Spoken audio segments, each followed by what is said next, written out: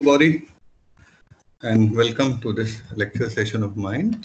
Uh, last time, Dr. Anita has spoken about nephritis. and In brief, I'll discuss something about the anatomy and physiology and a little bit of histology of the kidneys, right? The kidneys are, of course, organs of the excretory system. We have got two kidneys, approximate weight of one kidney is around 200 grams, slightly less or slightly more. There's the upper pole, there's a lower pole, there's a pelvis, there are calyces, there's a ureter the urine is formed in the kidney, it goes to the bladder, and then it is voided through the urethra. This is in brief something about the anatomy. I'll not go into all the details. Histology, of course, the primary unit of the renal system or excretory system is the nephron. The nephron is made up of glomeruli, Bowman's capsule, proximal connective tubule, distal connective tubule, loop of Henle. Today, we'll concentrate more on the glomeruli because there is plenty of pathology in the glomeruli. In the glomerulus, there is the afferent and the efferent, and there's a capillary tuft. Through this capillary tuft, the blood flows. And from here, the blood is filtered. Whatever filtrate is there goes to the Bowman's capsule, and from there it goes to the PCT, proximal connect, collecting tubule. From there it goes to the DCT, and then it goes to the urinary bladder. So we have to understand something about the histology, of course, and something about the gross pathology, gross. Now, straight away, we go to the topic of the day, and that is nephritic syndrome. Okay. Now, as the word itis, itis means inflammation. Inflammation, it could be because of living, it could be because of non-living uh, uh agents also. Living are mainly virus, bacteria, fungus, parasites. Non-living could be a foreign body, it could be an antigen-antibody complex, or it may be some foreign particle over there, or it may be a toxin also.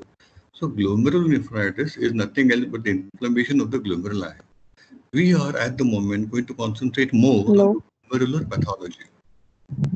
This is also called as Bright's disease. It is named after Bright, who took the initiative and who could pinpoint the various lesions in the glomerulus. So again, I repeat, glomerulus is nothing else but a capillary tuft. The capillary tuft is lined by endothelium. Outside this capillary tuft, you have got the basement membrane.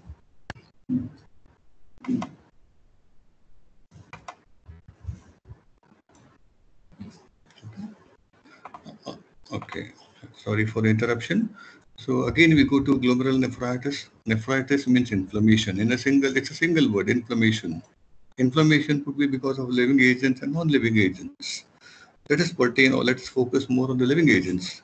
It could be a bacteria. It could be a gram-positive bacteria. It could be a gram-negative bacteria, or it could be a fungus, it could be a virus, it could be a tox, uh, it could be a fungus, virus, or a parasite. Non-living agents are of different types. They may be antigens, they may be antibodies, they could be antigen antibody complexes, they may be a foreign body. So there could they could be a toxin also. So inflammation of the glomerulus, again I repeat, is nothing else but the inflammatory reaction that is seen in the glomerulus. Let us focus more on the glomerulus. It is a tuft of capillaries these capillaries are lined by endothelial cells. They are surrounded to, uh, by a connective tissue-like substance called as the mesangium. In this mesangium, we have got the mesangial cells. Outside this, there is the Bowman capsule, and there are podocytes on the basement membrane. These podocytes are cells which have got foot processes. We have also got external epithelial cells. These are epithelial cells that are present on the Bowman's capsule in the Bowman's capsule. So this is also called as Bright's disease.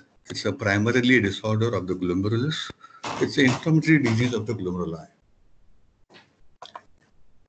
So this is a nice diagram over here. EN. EN stands for the endothelium. That is the inner lining of the capillaries that are present in the glomerulus. EP. EP is nothing stands for epithelium. You can see the epithelium over there. The just on the top, this epithelium has got foot processes or podocytes. GBM. GBM stands for glomerular basement membrane, which can be seen over here in the pink color, GBM. This is, of course, very important. It is a filtering membrane. Then we have uh, this particular glomerular basement membrane has got three components. One is lamina densa, second one is lamina rara externa, the third one is lamina rara interna. So these are three important components of the glomerular basement membrane and they are seen outside the capillaries. In between the capillaries, the tissue is called as mesangial tissue, and these cells which are present in the mesangium are mesangial cells. Beneath in the, that the material that is present in the mesangium is called as mesangial matrix.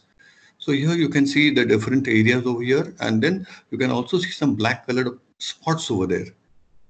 The black colored spot in number one uh, is a subepithelial deposition of something. We'll go to that later on. Number two, again, deposition. Number three is subendothelial deposition. And number three, black colored spot indicates a mesangial deposition. Now let's go to the causes. We are talking about glomerulonephritis. We are more focused on the glomeruli. First, there is primary glomerulonephritis. It is called acute glomerulonephritis. This may be because of, a bacteria called the streptococci, which is a gram-positive bacteria. It may be a post-streptococcal or a non-streptococcal glomerulonephritis. Again, this particular category, which is primary glomerulonephritis, has got three, four more types. Rapidly progressive glomerulonephritis, membranoproliferative glomerulonephritis, focal glomerulonephritis, and IgA nephropathy. There are certain systemic diseases these are mainly collagen diseases or autoimmune diseases and which may also cause glomerulonephritis. We'll not concentrate much on, in brief, we'll try to discuss something about them. The first one is SLE, systemic lupus erythematosus. Systemic lupus erythematosus is nothing else but autoimmune disease involving the skin, in which there are erythematous areas on the skin, and it is a systemic disorder. Practically all the organs and the tissues in the body, including the skin, are affected. Here also you can get glomerulonephritis. Uh, number two is diabetic uh, polyarteritis nodosa. Polyarteritis nodosa is a, is a disease, autoimmune disease involving the blood vessels, mainly the arteries. The arteries are thickened and they show the arteries are thickened and they show uh, deposition of inflammatory cells. Again, this is an autoimmune disease broadly called as collagen disease. Wegener's granulomatosis is not a properly understood condition where you get necrotic lesions on the face. These are surrounded by chronic inflammatory cells. Henoch-Schönlein purpura, where you get less amount of platelets and you get purpuric spots over there, Henoch-Schönlein purpura. Then we have also got cryoglobulinemia. Cryoglobins are nothing else but proteins in the plasma which precipitate at a lower temperature. The exact cause is not known. This is broadly grouped. This is broadly grouped into collagen disorders or autoimmune diseases. Uh, to it, we can add a few bacterial systemic infective diseases such as syphilis, leprosy, subacute bacterial endocarditis, a few viruses like HBV, HCV, HIV may also cause systemic glomerular disease. Parasites like malaria and filaria may also cause systemic glomerular disease. Idiopathic mixed plasma, I have already told you about it. Uh, we go to the third type of classification, and that is hereditary.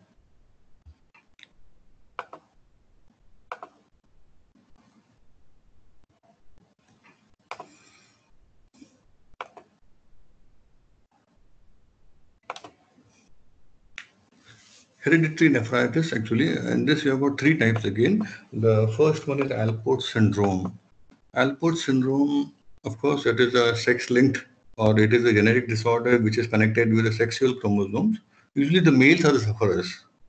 Along with kidney lesions, there are lesions in the in the lungs also, as well as in the uh, nervous system, Alport syndrome. It is not that much common, but it is more common in the males and less common in the females. It is a sex-linked disorder where you can get nephritis.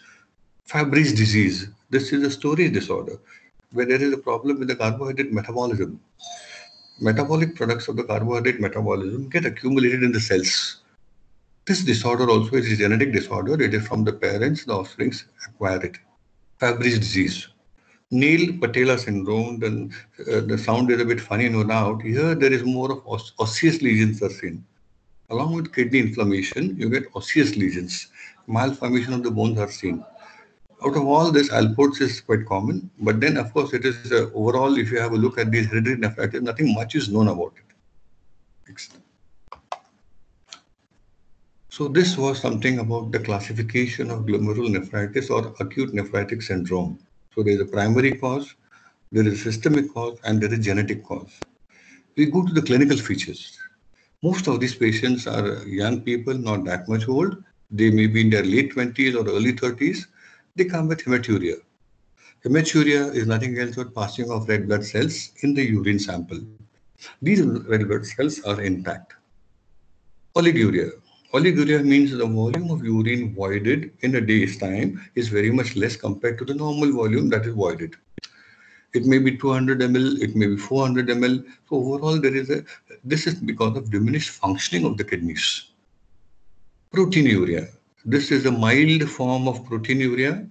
The amount of protein passed in 24 hours in the urine is less than 3 grams. There is mild edema. Of course, uh, in addition to that, there is mild hypertension. Now, kidney has got something to do with the control of hypertension or with the control of blood pressure. So there is a mild hypertension. We can also get RBC casts in the urine. RBC casts are nothing else but certain dead, uh, you can say red blood cells along with some eosinophilic material that is seen in the tubules. And these are called as RBC casts. They are present in the urine. So this is nothing else but a feature. This is nothing else but a feature of acute nephritic syndrome. Please do not confuse nephrotic syndrome with nephritic syndrome because nephrotic syndrome is a more severe condition and there are plenty of different and other causes also which can cause a nephrotic syndrome. For example, there may be hematuria, a massive type. The proteinuria may be a very high level of proteinuria may be seen. The edema is all over the face, on the foot also, pedal edema, massive edema. Extensive or extra, you can say a severe hypertension may also be seen. So that is nephrotic syndrome. There are other factors also which can cause which can cause nephrotic syndrome. We go to the next slide. The first one is acute proliferative glomerulonephritis. Now, this particular term is more of a histopathological term. This is more of a histopathological term. That is why in the beginning I've shown you that picture of the glomerulus. This is also known as post-streptococcal glomerulonephritis. This is commonly caused by group A beta hemolytic streptococci. Now, these group A beta hemolytic streptococci are present all over they are particularly commonly seen in unhygienic areas, crowded areas. Rarely, other bacteria may also cause acute proliferative glomerulonephritis. Pathogenesis. How the disease begins, what happens. As I said, you know, the lesion is caused by immune complex, which is made up of IgG, IgM, and C3. Now, this is a complex, it's a complex, it's a mixture of immunoglobulins and the cells which are present in the tissue. These complexes are not helpful, but they're harmful. These complexes are deposited mainly in the subepithelial space. So as I said, there's the Bowman's capsule. Just below the Bowman's capsule, there's the basement GBM, and just on the top of it, you've got the epithelial cells. All these cells have their own functions. I'll not discuss much about the physiology about it, but subepithelial cells or space, which I showed in the beginning, these that particular space, subepithelial space, will show deposition of these complexes. So the key word in this particular slide is immune complexes. And number two keyword is subepithelial space where they are deposited. The antigen may be exogenous or endogenous. Exogenous, as I said, group A beta hemolytic streptococci. These are present in crowded areas and slum areas this streptococci are quite common the, where the conditions are unhygienic. The children in particular are more prone to be infected by group A beta hemolytic streptococci. They are also present in developing countries where uh, there is a shortage of space to stay or overcrowded places are there where many people stay in a very small area. Endogenous, as I said, antigens. Antigen is something which will provoke or bring about antibody reaction. These endogenous antigens are present in collagen diseases like good Goodpasture syndrome. In good Goodpasture syndrome, there is a, an antibody against the glomerular basement membrane and the interstitial tissue of the lungs. So this is an example of endogenous antigen. Streptococcal pyogenic exotoxin. Two kinds of toxins are there. One is the endotoxin and exotoxin. Exotoxin is quite powerful. It has got a target tissue. It is protein in nature and this is the main antigen bringing about the antibody response. This antigen is protein in nature.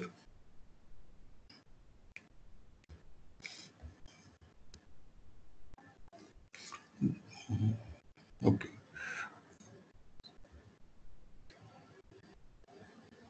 The immune complexes, which are deposited in the tissues, are granular in appearance. Now, this is more of histology part. We go to the next slide now.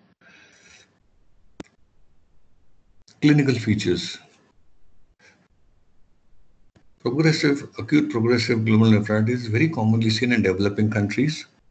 This is seen in people living in crowded areas and in slums. The children are more commonly affected. The common age group is 6 to 10 years.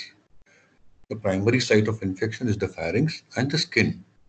From here, these, these bacteria may go, or the, or the antigens may go by the blood route to the kidneys and can cause the antigen-antibody reaction and a complex will get formed. This complex, as I said in the beginning, is deposited in the epithelial tissue, subepithelial tissue. The common clinical features are malaise, fever, oliguria, and hematuria. The gross appearance of the kidneys. As I said, there are two kidneys. There's an upper pole, there's a lower pole, there's a cortex, there's a medulla. Of course, there is a pelvis, there are calyces. In case of nephritis, the kidneys are enlarged and they are pale. Petechial hemorrhages are seen in the cortical area of the kidneys. We now go to the microscopy. right. So a reaction is there. It is an inflammatory reaction, glomerulitis. We are focusing more on the glomeruli. There are 1 million nephrons in the kidney. And all of all the glomeruli could be affected. A part of them could be affected. A segment could be affected. The, in case of nephritis, the enlarged and there is enlargement of the glomeruli. The glomeruli are hypercellular. Number of cells is more compared to the normal non-infected or non-inflammatory glomeruli. There is infiltration of the glomeruli by neutrophils and monocytes. Any neutrophilic infiltration, any neutrophilic infiltration suggests an acute disorder. There is a mesangial cell proliferation. This mesangial cell proliferation is present in the mesangial matrix. So here, the cell numbers, they become more. In addition to that, we get plenty of neutrophils in the glomerulus and monocytes. Crescent, like the moon has got a crescent. It is a uh, semilunar area that is seen on the surface of the glomeruli, like crescent formation and that is formed by the multiplying neutrophils and the monocytes. The proliferation of these cells is typical global and diffuse. Now, this was told to you last time what is global and diffuse. That is involving the all the segments of the glomeruli. The endothelial cells that line the capillaries of the glomeruli are swollen. This may cause obliteration of the capillary lumen and there is interstitial edema and inflammation.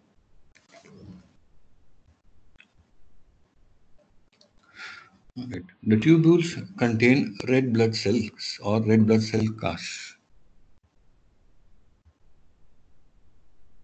Right. Now here's a beautiful picture. Here's a beautiful picture in front of you. To your left hand side, at the top, a normal glomerulus is seen. You can see the basement membrane. You can see the capillary tuft.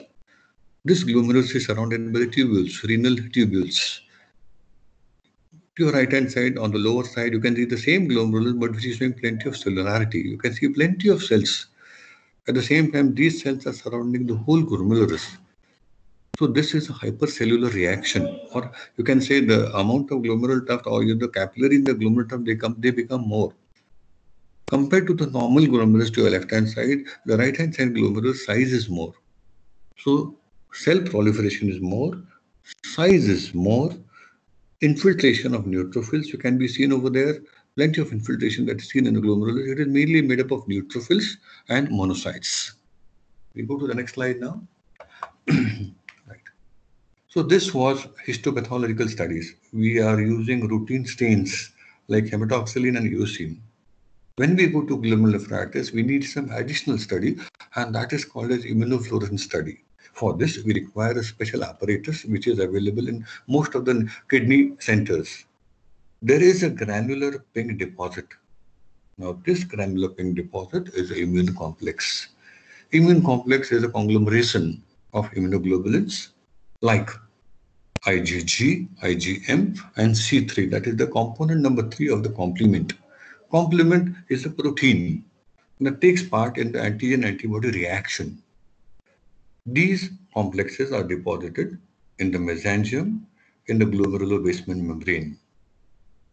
As I've told you in the beginning, The deposits are mainly in certain foci of the glomeruli, and that is why it is called as focal deposition. Whenever renal biopsy is done, we have to go in for immunofluorescence study to confirm the nature of the immune complex. Without that, the report or the diagnosis is half complete. Go to the next one, please.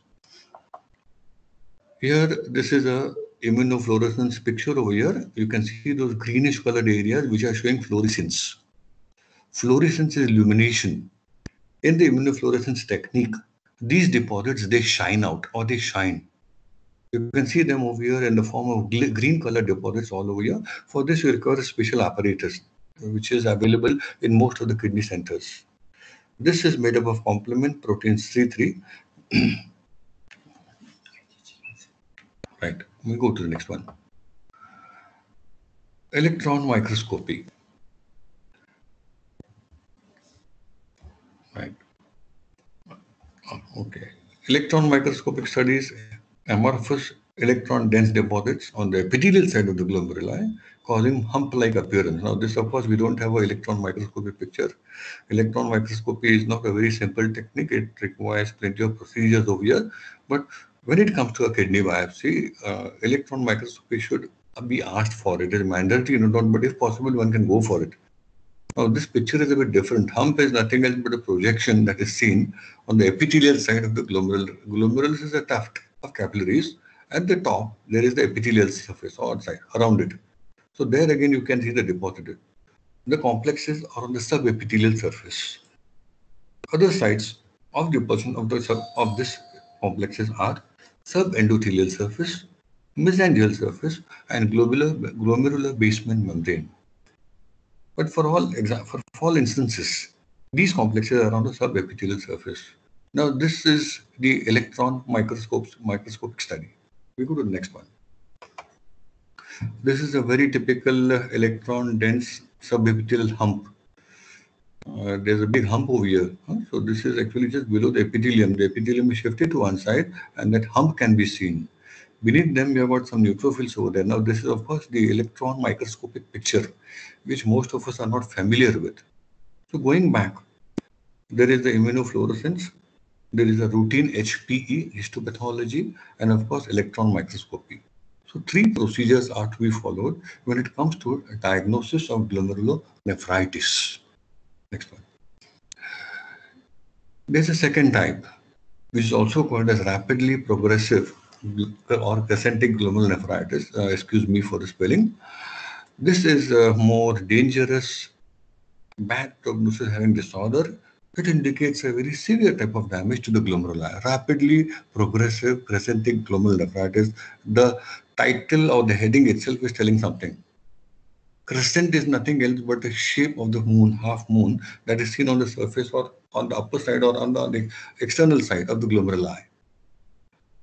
Here, there is a rapid and a progressive loss of renal functions. Kidney has to form the urine.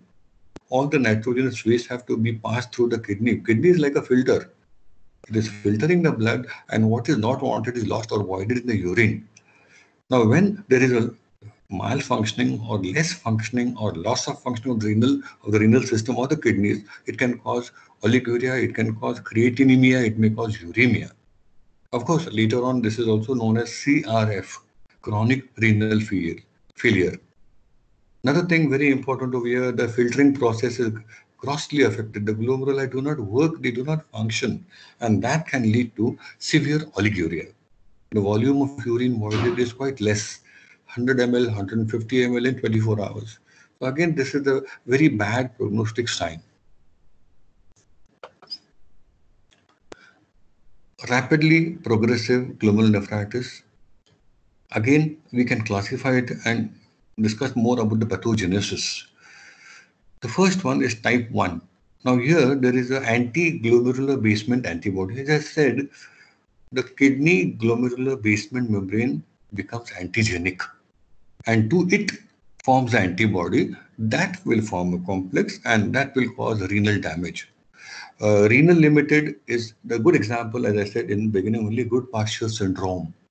In the good Goodpasture syndrome, there is an antibody that is formed against the glomerular basement membrane and the interstitium of the lungs.